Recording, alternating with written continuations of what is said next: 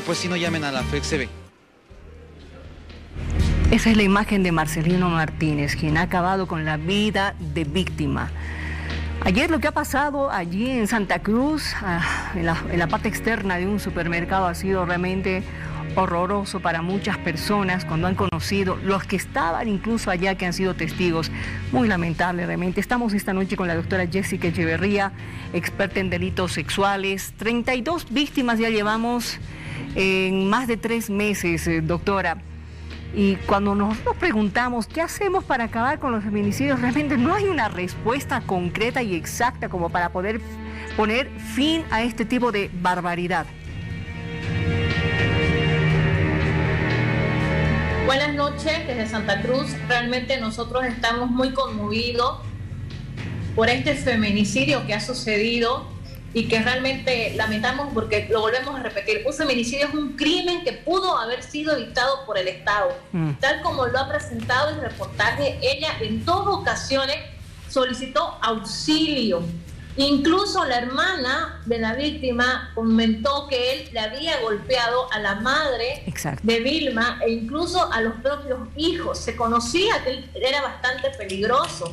Entonces, ¿qué sucede? Que ahí vemos que vuelve a fallar quién? El Estado. Por eso nosotros insistimos en que se tiene que capacitar a la FELCB para poder atender estos casos de emergencia. Mire usted, muchas mujeres no pueden memorizarse la línea gratuita de la Fundación Viva. Entonces, ¿qué es lo más lógico? Que llamen al 110. ¿Por qué no lo derivan automáticamente?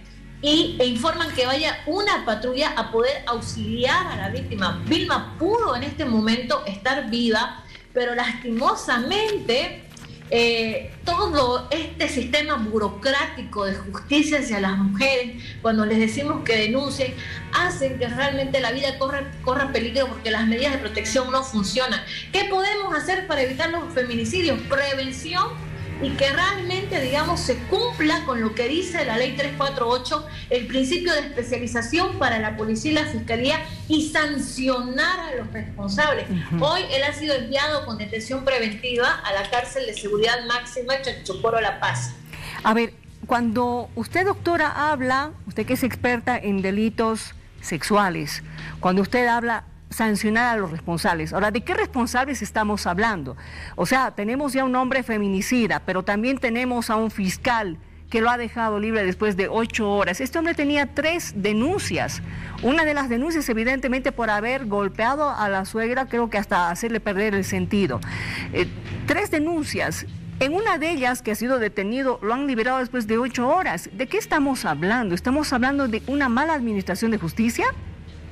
Totalmente, de que no se ha cumplido con el principio de especialidad, de celeridad, de dar auxilio.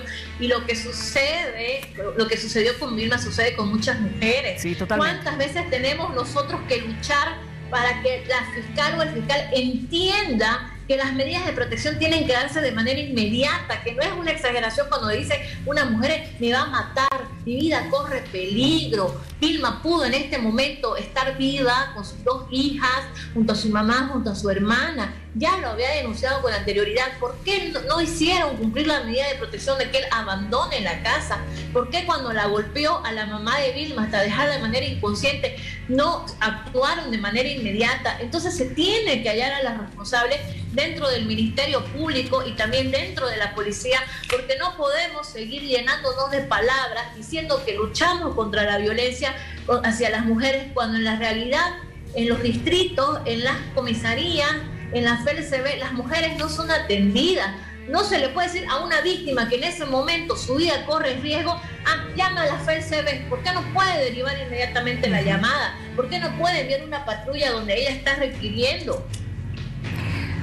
La misma pregunta nos hacemos nosotros. ¿Por qué no puede haber una patrulla dando vueltas, qué sé yo, policías que estén vigilando? Ahora también me imagino que para la familia, para la misma Vilma, que ya no la tenemos con nosotros, ha debido ser eh, no tener una vida, ¿no es cierto? Tener que estar acompañada constantemente, pero quizás hubiera sido esa una forma de evitar lo que ha ocurrido.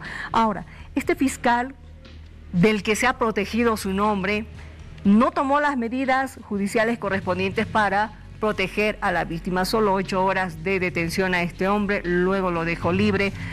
Es decir, vuelvo a insistir en este tema, doctora. constantemente, constantemente se habla de que la justicia en nuestro país es un desastre. Y estamos viendo claramente jueces, fiscales, que están dando detención preventiva o detención domiciliar a quienes son maltratadores, violadores, en fin, y, es al entorno familiar y a la víctima se la deja totalmente desprotegida como en el caso que ha pasado a continuación. Exactamente, la justicia realmente en nuestro país es lo peor que tenemos. Los tribunales son enemigos de las mujeres. Realmente las víctimas se cansan de denunciar, se cansan de solicitar auxilio y por eso abandonan, digamos, las denuncias y luego tenemos que lamentar estos estos feminicidios que realmente son terribles porque dejan a dos niños en la orfandad y a pesar de que una persona sea sentenciada a 30 años, nunca más esta persona va a estar viva. Entonces, es realmente reprochable tanta irresponsabilidad y el llenarse, digamos, de discurso y no accionar. Nosotros tenemos, por ejemplo, casos desde el 2018, feminicidios que hasta ahora ni siquiera se instala la apertura de juicio, para que vea usted la retardación con la cual, digamos, están los casos. Y se tiene que luchar para que ellos puedan seguir detenidos en, Palmasola. Hasta ahora no se ha aplicado el botón de pánico que se prometió dentro mm. de lo que es la FERCB para evitar más feminicidios que se lanzó en 2019 otra cosa, nosotros le preguntamos al Parlamento, ¿dónde está su dichosa comisión de feminicidios mixta? Buena tanto le dijeron a la prensa, senadores y diputados que iban a recorrer todo el país para ver los distintos casos. Un total saludo a la bandera, a que vengan a Santa Cruz para que vean cuántos feminicidios hay en este momento sin resolver. Tenemos el primer el feminicidio de Santa Cruz del, del 2020 que hasta ahora ni siquiera llega a una imputación. Entonces no puede ser posible que esto siga sucediendo, ¿ya? Y que se tenga que, que tengan que suceder crímenes tan horrorosos, tan impactantes como este feminicidio a plena luz del día, para que sigamos lamentando una violencia que no cese y que no cede, cuando todos los días las mujeres en todo el país están padeciendo porque la ley 348 no se puede aplicar, y porque la 1173 ha venido a beneficiar a los agresores sexuales y a los feminicidas. Usted lo ha dicho bien, la 348 no se está pudiendo aplicar porque evidentemente hay personas que no quieren hacer caso a lo que dice esta ley, ¿no es cierto? Si la 348 se empleara correctamente, muchas mujeres en este momento estarían protegidas incluso por el Estado. Exactamente, porque la 348 habla del trato digno, de la celeridad, de que no se le puede, digamos, exigir formalismos a la víctima. Entonces, ¿qué celeridad puede exigir cuando se le dice que vuelva mañana? ¿Qué celeridad puede haber cuando se la revictimiza, cuando se le dice a una mujer que llega golpeada? Es que según usted lo provocó, usted, lo usted le contestó feo. Estamos hablando de tres, de tres denuncias y en tres denuncias en diferentes, en diferentes tiempos no se optó para darle protección a ella y a sus hijos. O sea, estamos hablando que realmente se pudo haber evitado este feminicidio. Incluso el sábado ha llamado a emergencia pidiendo ayuda. Entonces yo pido a nivel nacional que por favor el comandante general de la policía, el, coronel Aguilera, tiene que ver esta situación porque no se le puede decir a todas las mujeres del país que se memoricen la línea gratuita porque muchas llaman directo, digamos, a lo que es eh, eh, el 110, por ejemplo, en Santa Cruz. Entonces automáticamente tiene que enviar la patrulla de auxilio y no decirle, ¿sabe qué? Llama a la FELCB o cuando una persona llega a la FELCB pidiendo auxilio, qué ridículo, no, es que le toca irse allá. Es que no, hasta eso la víctima realmente, ¿qué hace? Inmediatamente dicen, bueno, prefiero no denunciar porque había sido peor denunciar, porque lo van a arrestar ocho horas, lo van a soltar y va a salir peor y va a salir más agresivo. Tú, recuerda que tuvimos un caso en Santa Cruz donde lo arrestaron ocho horas a un sujeto y luego lo soltaron y volvió y le, quebró, y, le destrozó el cráneo a la víctima por haberlo denunciado.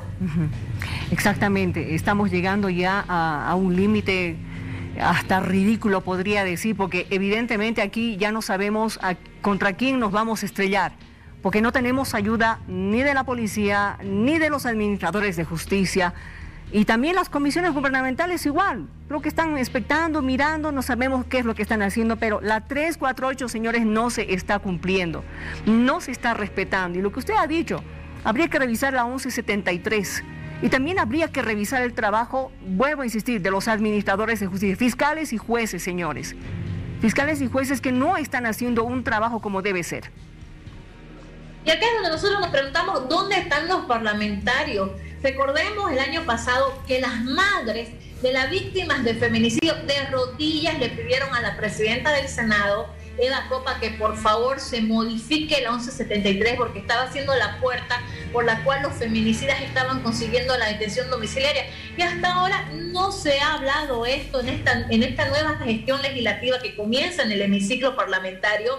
Y yo vuelvo a decir, se le ha dicho a la prensa, se ha presentado con más y platillo, se ha pedido un presupuesto millonario, se ha indicado de que va a haber una comisión mixta del Senado y de diputados trabajando. ¿Por qué no fiscalizan los casos?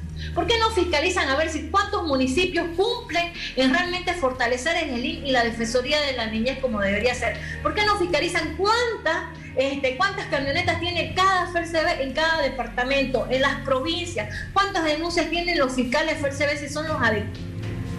¿Por qué los parlamentarios no hacen su trabajo correspondiente en lo que es, digamos, el tratar de hacer que se cumpla esta ley? Que termina siendo realmente eh, una ley que no se aplica. Un saludo a la bandera porque no la están cumpliendo, porque se ríen de nosotros en nuestra cara las mujeres cuando vamos a denunciar y no tenemos acompañamiento del Estado, no tenemos acompañamiento de los parlamentarios y pedirle por favor al ministro de Justicia, realmente los jueces y los vocales no están jugando con perspectiva de género.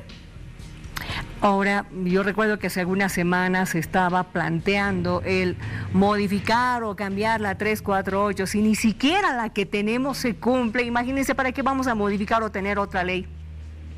¿No? Exactamente, porque ¿cómo es posible que nosotros eh, digamos, a ver, se ha presentado mil propuestas para modificar la 348, cuando quienes ejercemos a diario el derecho penal vemos que el problema sigue siendo la 1173, cuando quienes ejercemos a diario vemos que el problema sigue siendo que no tenemos fiscales especializados en la FELCB, que cuando una mujer solicita las medidas de protección no le quiere dar el fiscal las medidas de protección. Porque cuando vemos, por ejemplo, la rotación y la falta de especialización en los efectivos policiales de la FELCB. Entonces sigue siendo como aquellos, digamos, eh, puritas parche o promociones publicitarias que se hace a la población para decir, estamos haciendo algo, pero Vilma Zurita fue degollada a plena luz del día afuera de un supermercado. Y Vilma Zurita pudo ser salvada si se hiciera algo. Apliquemos el botón de pánico de una vez, que funcione la comisión del legislativo que iba, eh, que iba a hacer, digamos, todo lo que es el seguimiento y fiscalización de los casos de feminicidio y hasta ahora no funciona. Hay mucha gente que no está haciendo su trabajo, doctora. Le agradezco mucho por haber conversado con nosotros. Es muy doloroso lo que ha pasado y también da, da vergüenza cómo están actuando algunas instancias en nuestro país. Por eso sigue habiendo este tipo de, de hechos, feminicidios, maltrato contra mujeres, contra niñas. Todavía no podemos parar el tema de la violencia intrafamiliar. Realmente es una vergüenza lo que pasa en nuestro país. Doctora Echeverría, muchas gracias por haber conversado con nosotros. Muchísimas gracias a ustedes por el compromiso que tienen siempre de manera responsable hacia las víctimas de violencia.